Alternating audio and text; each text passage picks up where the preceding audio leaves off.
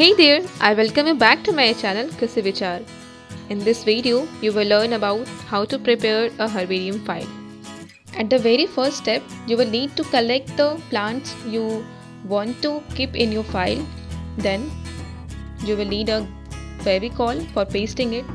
So let's start with these materials. Take a file and write the name or scientific name for that plant.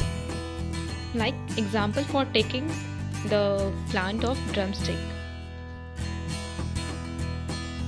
The scientific name for drumstick is Moringa oleifera.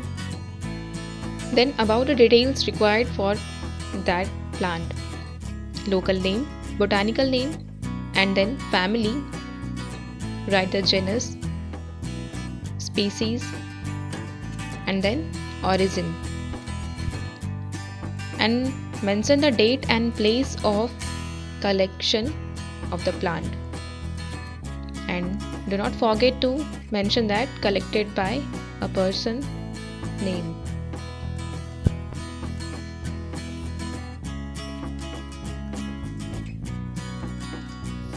Since I've started from the last but you can start it from the first beginning.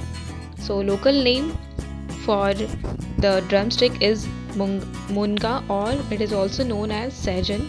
Botanical name is Moringa oleifera as mentioned above. Then it belongs to a family Moringaceae.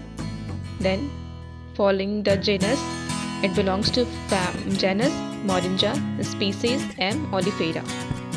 So that was all about the drumstick and then moving toward the next plant we will go for Colocasia esculenta.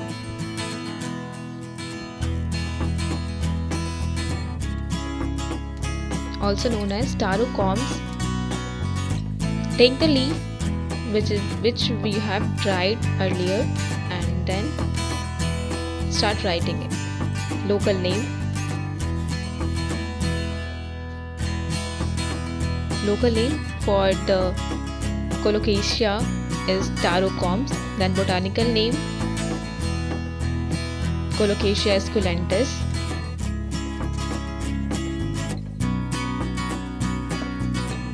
Then write the family.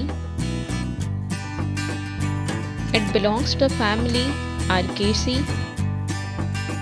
Likewise complete all the details and then moving to the next one that is sponge gourd.